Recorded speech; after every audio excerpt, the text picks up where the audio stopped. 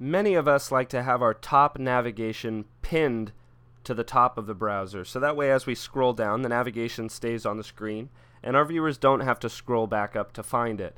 Now, in the past, Muse hasn't made this very difficult because everything else on the page would go on top of your navigation, but we got lucky in the update, I believe it was 4.0 point something.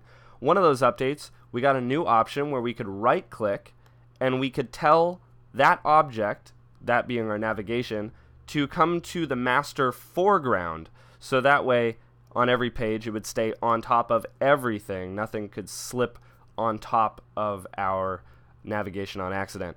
Now, in Adobe Muse CC, which is the 5.0 release, uh, we lost that. That is missing altogether. But they want us to do it a different way because they've introduced this new feature, the Layers palette. So, really, what this is all about now, it's very, very simple. You just need to create a new layer. Uh, I've got a layer 2 already, so I'm going to create a layer 3 for myself. And uh, I can even double click and call this navigation layer. And because it's layer 3, it's on top of all the other layers. So now all I need to do is highlight the objects that I want to stay on top. I'll give it a right click and I'll say move to layer, navigation layer.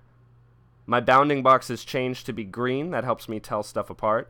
And I make sure that it's pinned up here. It is pinned to stay in the center and at the top of the browser.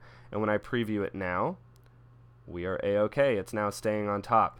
Um, I didn't really show you guys what that looked like before, but I'll hit undo a couple of times. And with everything the way it started, if I were to preview this in the browser, see, everything's going on top of our navigation.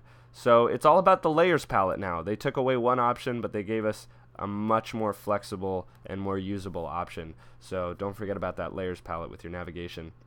Alright, please subscribe if you enjoyed this video. I've got more coming.